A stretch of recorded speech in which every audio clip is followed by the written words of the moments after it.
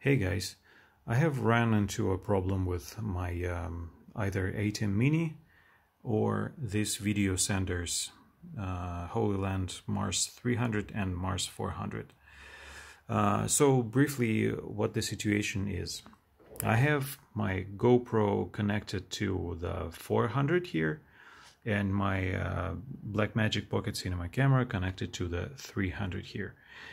And these are routed, uh, 300 is routed to the channel number 1 and 400 is uh, routed to the channel number 2.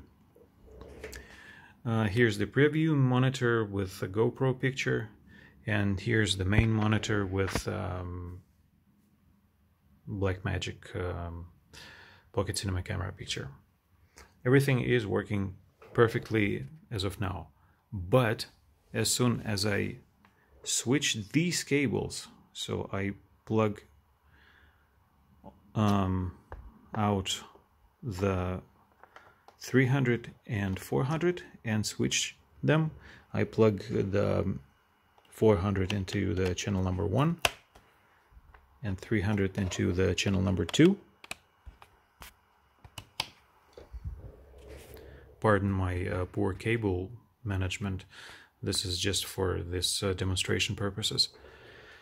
Uh, so the preview picture from the uh, Pocket Cinema camera is fine as it goes through the 300. But uh, as you remember, the GoPro goes through the 400, which is plugged into the channel number one here.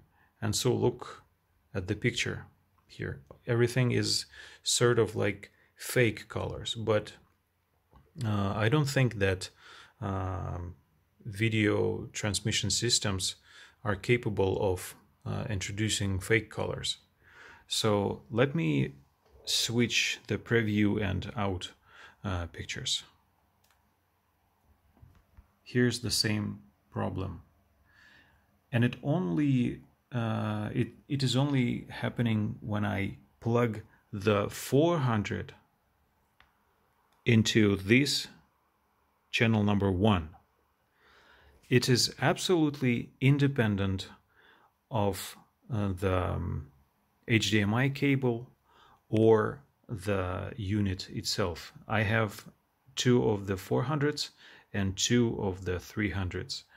Both 300s work perfectly on the channel number one and both um, Hollyland 400s are working with this problem on the channel number one.